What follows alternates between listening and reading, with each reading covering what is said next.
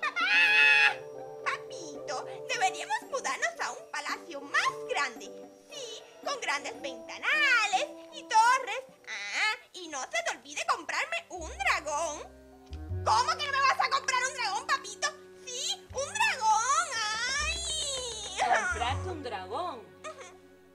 Princesa, perdone que le interrumpa, pero si me he decidido venir hasta aquí, no es para verla exigiéndole a sus padres más de lo que le dan. Parece que usted no se ha leído la carta de José Martí a María Mantilla que dice, mucha tienda, poca alma. Quien tiene mucho afuera, tiene poco dentro y quiere demostrar lo poco que tiene. Y además, ¡Ay, pero qué insolencia! Interrumpirme a mí. Yo la princesa de este reino mediocre y este es mi papel en la obra, llorar y hacer perretas. A ver, ¿quién es usted? ¿De dónde viene? ¿Y cuál es su papel allá? Ah, pues soy Diana, integrante de la nueva era de artistas cienfuegueros. Y antes de que usted me interrumpiera, yo le iba a decir que Martí continúa escribiendo, quien siente su belleza interior no busca afuera belleza prestada. Y usted es muy linda, al igual que el alma de la titiritera que le da vida en escena. ¿Me la podría prestar unos minuticos? Estercita, esta infanta quiere hablar contigo. ¿Quieres tú? Está bien, se la presto. Eh, el egoísmo es muy malo también, lo sabía. Eh, ella se llama Esther Valladares y es la más linda de mis titiriteras.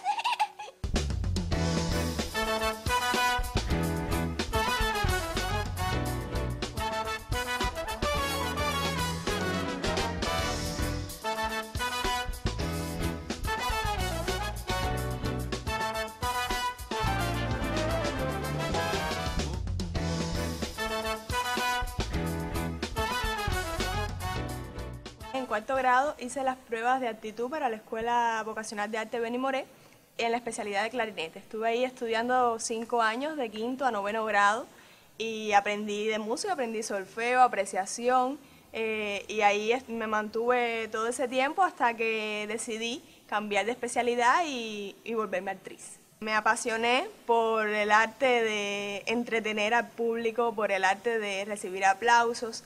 Eh, me gustó mucho convertirme en otra persona, o sea, interpretar personajes, eh, cosas de fantasía, ficticias, o sea, meterme en una historia diferente a la vida real.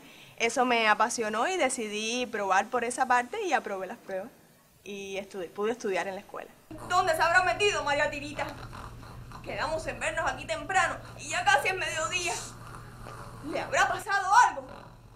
¿Se habrá arrepentido? Cuando me graduó comencé desde el principio en el Teatro Infantil y Juvenil Cañabravo, o sea, teatro para niños.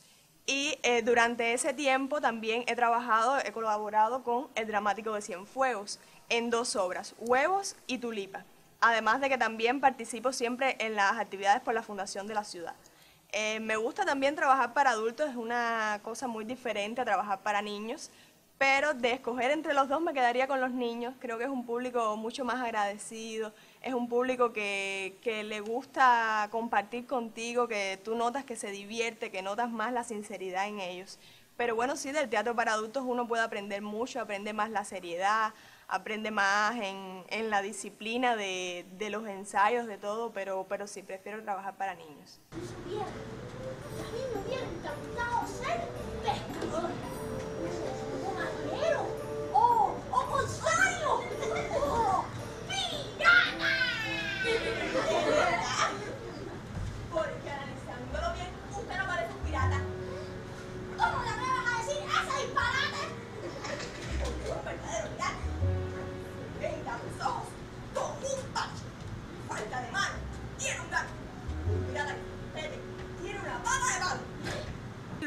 Estreno del grupo fue Fernandina en el 2019 y aquí pudimos romper un poco la cuarta pared también, pudimos romper un poco el trabajo con títeres, o sea, la obra sí lleva trabajo con títeres, pero la mayoría es el trabajo del actor en vivo.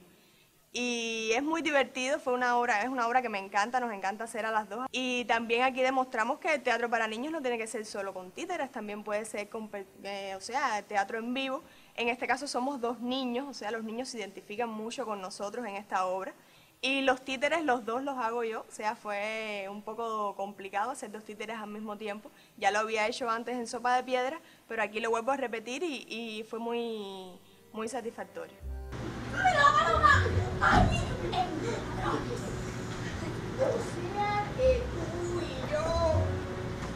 Está bien, capitán. Su más fiel y único vasallo. O sea, yo. Son dos niños que están eh, dentro de sus juegos, eh, crean una fantasía que se vuelve la realidad de la obra, o sea, van buscando un mapa, ese mapa los lleva a pelearse con un monstruo para poder salvar la perla y poder salvar la ciudad.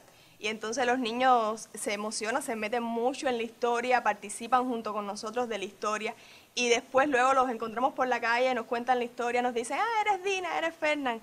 O sea, ha sido una obra que ha marcado mucho a nuestro público. Es que aún sueño cuando veo brillar las estrellas. ¡Me llamaron! ¡No! Ay, pero sorda no soy. Y yo escuché clarito, pulga, Mireya. No, Pulga Mireya. Barco Varado estaba diciendo que aún sueña con ver las estrellas. Ah, bueno, pues que hable bien, porque yo escuché clarito, pulga, Mireya. Tuve la oportunidad de trabajar con el Telecentro Visión en el programa Hobby Ha, Los Últimos Piratas del Jagua, y hice uno de los títeres que salía en el programa, La Pulga Mireya. Fue una experiencia que me encantó más porque mezclaba el teatro con la televisión, que es otro de los, de los medios que disfruto mucho.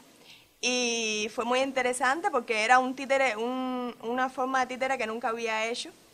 Y lo pasamos muy bien, nos divertimos mucho. Lo único que pudimos hacer una sola temporada, nos gustaría que volviera una segunda y hasta una tercera temporada.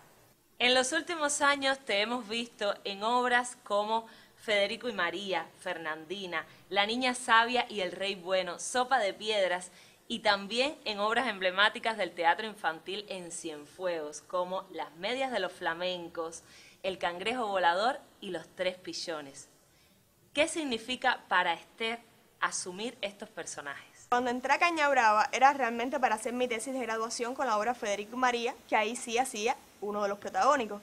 Pero durante ese tiempo tuve que, el, el grupo tenía pocos integrantes, entonces Daily y yo nos fuimos uniendo a cada una de las, de las puestas que ya existían desde hace muchos años. Una de ellas fue El Caballito Blanco, que necesitaba ponerse ese fin de semana y teníamos poco- pocos integrantes en el grupo.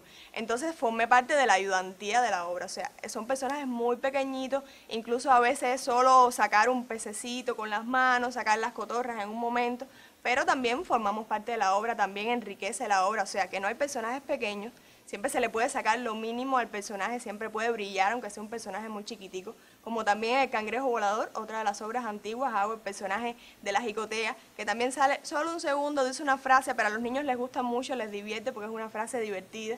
Entonces también he hecho muchos personajes protagónicos, pero estos pequeñitos también lo marcan a uno, también le llegan, le llegan a los niños. Creo que mi primer personaje, Federico, eh, fue mi tesis de graduación, es una obra que siempre disfruto mucho hacerla. Me costó trabajo porque al ser un varoncito y pon- tenerle poner esa voz, además era un príncipe poeta, o sea, tenía que decir mucha, mucha poesía durante toda la obra.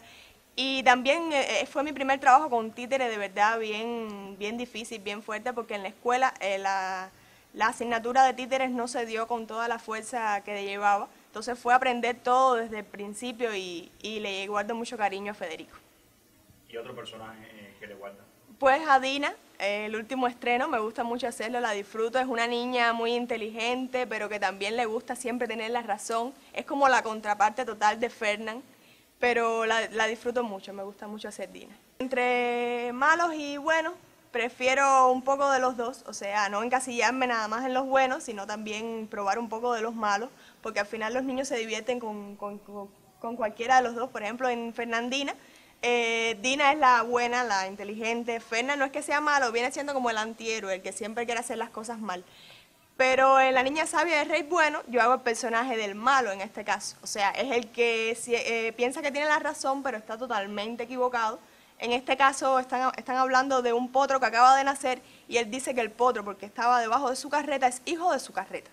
Y eh, por supuesto sabemos que es hijo de una yegua. y entonces los niños se divierten mucho con, esa, con esas cosas y me gustaría también entonces seguir probando un poco de los buenos y de los malos. Decidí estudiar Derecho porque realmente lo que quería estudiar era comunicación social, pero ese año la carrera no abrió. Me propusieron o esperar un año o entrar en Derecho y decidí no esperar y entrar en Derecho. Pensé al principio que no me iba a gustar mucho, pero realmente le fui cogiendo cariño a la carrera y durante los seis años que estuve la disfruté bastante, aprendí muchas cosas. O sea, me nutrí bastante de, de ese mundo. Y no pienso dejar nunca el teatro por volverme abogada, pero si, si me fuera posible en algún momento entrar a la universidad a dar clases, aunque sea como profesora mm, suplente, eh, me gustaría hacerlo, pero no, no pienso nunca dejar el teatro para ser abogada. Porque el teatro es tu vida, ¿verdad? Exactamente, el teatro es mi vida y quiero quedarme aquí hasta todo el tiempo que pueda. ¿Cómo que se quedaron sin orejas? Pero, pero papá, yo quería otro vestido. Y, y ahora, ahora con quién voy a ir al baile. Ay, papito. Ay. Ah, ya sé, que le corten la cabeza. Sí. Creo que el mayor reto en mi carrera está por venir todavía. Eh, espero que llegue, lo espero con ansias. Me gustaría mucho volver a la televisión, eso creo que sería un reto para mí porque creo que cuando estuve no, no hice lo mejor que pude y me gustaría volver y, y bueno, quién sabe trabajar en el cine, eso sería lo ideal, ¿no? Pero creo que sí que el mayor reto está por venir todavía.